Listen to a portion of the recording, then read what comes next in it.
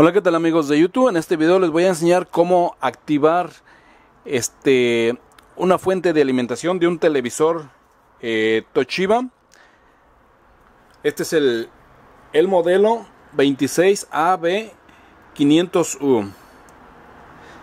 Y esta es la tarjeta de este modelo de televisor. Y les voy a enseñar cómo activarlo para poder probar los voltajes de salida ya que de lo contrario, si no sabe uno cómo activarlo, no se pueden probar los voltajes a menos de que tenga eh, conectada la tarjeta madre o tarjeta de video.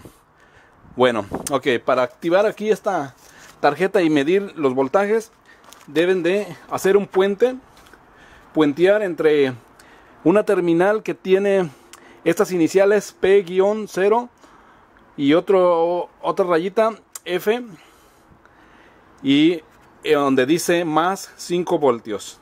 Se hace un puente y de esa manera eh, ya puede aquí se puede probar el voltaje de salida de la fuente. En caso de que tengan que hacerle una reparación y antes de, de ponerla en el televisor, pues pueden activarla y probar a ver si ya se restableció el voltaje en caso de que hayan cambiado algún componente. Bueno, entonces vamos a activar en este momento aquí la tarjeta. Para eso para activarla necesitan un pedacito de alambre delgadito que entre en el conector. En este caso yo tengo aquí un fusible térmico y esto es lo que voy a usar. Previamente ya tengo marcado aquí, eh, ya tengo marcado los, los cables donde voy a poner el puente.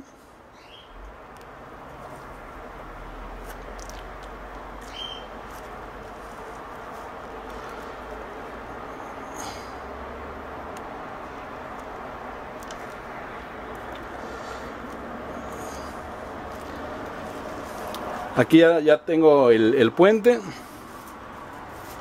Ahora vamos a encender aquí este aparato. Ya de esta forma este, podemos aquí probar el voltaje en esta fuente específica de alimentación. Hay otros modelos del Toshiba que son similares y la prueba es la misma. Este, es algo importante eh, notificarles que para hacer esta prueba nunca se debe de conectar una fuente de alimentación directamente a la red eléctrica. Debe de estar eh, conectado el cable de la fuente que se va a probar el voltaje a un dispositivo de seguridad. Aquí donde yo lo tengo conectado, esto me protege de que si yo por error ocasiono un corto, no se dañe la tarjeta, sino que se enciende este foco en caso de un corto. Bueno, vamos a a probar ahorita el voltaje de este de esta tarjeta. Para hacer tierra aquí tengo eh, las pinzas de cocodrilo lo voy a poner aquí en este disipador de calor. Y aquí hace tierra. Ahora tengo aquí eh, punta de aguja para hacer pruebas. Debo de tener aquí una salida de de voltaje de 5 voltios, 12 y 24. Vamos a probar primero los 24 voltios. Como pueden ver, ahí están los 24 voltios. Espero que se logre mirar. Si no, arrimo el... Ahí están los 24 voltios. Ahora vamos a probar los 12 voltios.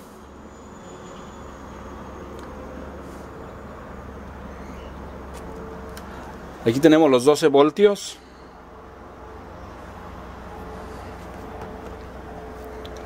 Ahora vamos a probar los 5 voltios.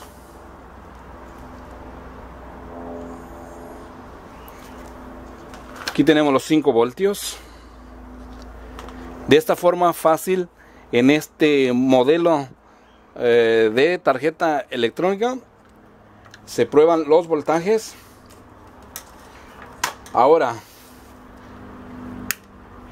¿Qué componentes pueden ser causantes de que tengamos pérdida de voltaje o salida de la salida de voltaje? Bueno, cualquier resistencia de estas que ustedes están mirando puede ser responsable de que haya la pérdida de los 5, los 12, los 24 voltios, ya que algunos capacitores este, eh, tienen la función de los 24 voltios, este, los diodos tienen también la función de cierto voltaje. Los diodos pequeñitos también este, tienen su función.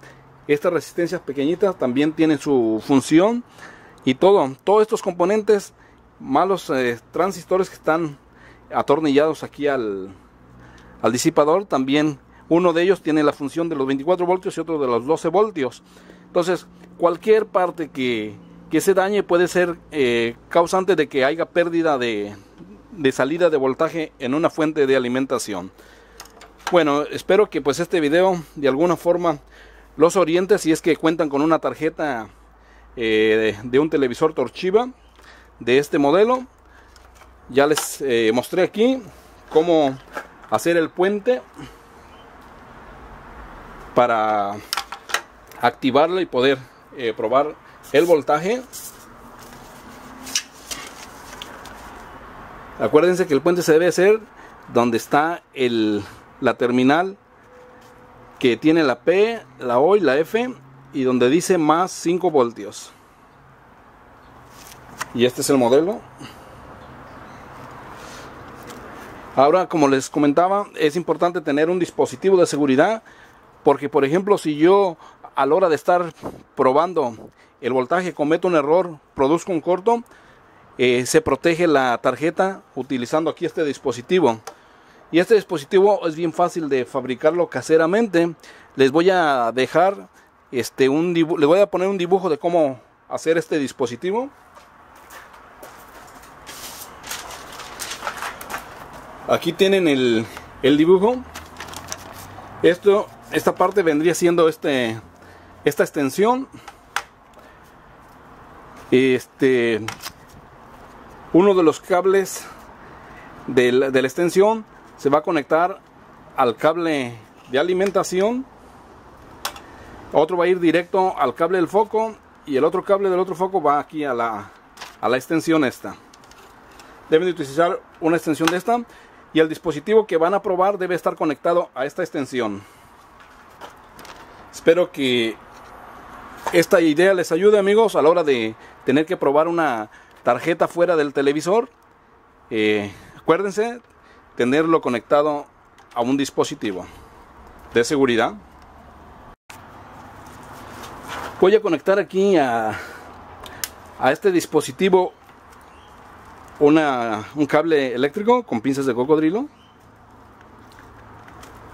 Y a propósito, voy a juntar aquí la corriente de 120 voltios.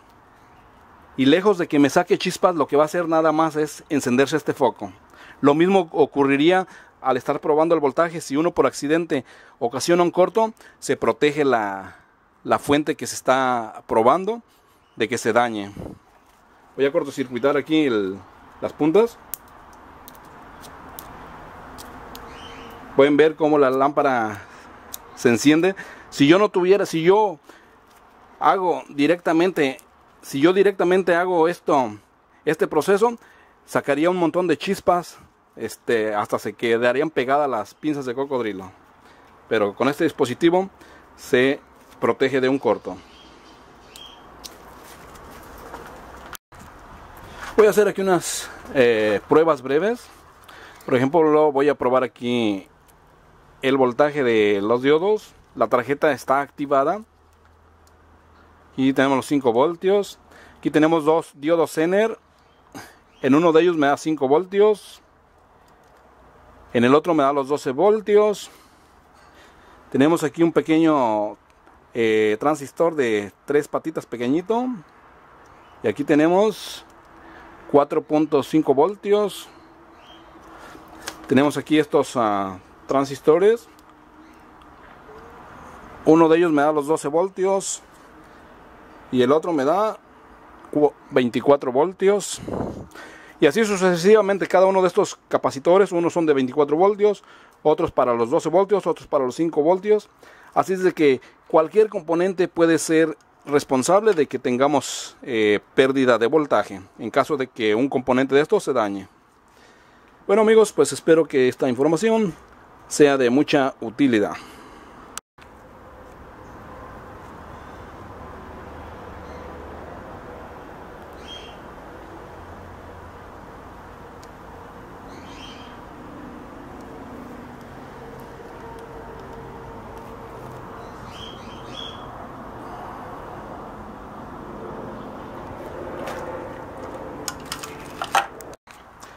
Próximamente haré un video también de cómo, cómo activar esta fuente de alimentación de un televisor de la marca Hisense.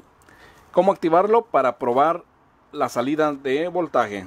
Este es, es diferente a este, pues eh, cada modelo es un poco diferente, así de que voy a aprovechar que yo tengo estas fuentes para hacer estos videos y poderlos ayudar.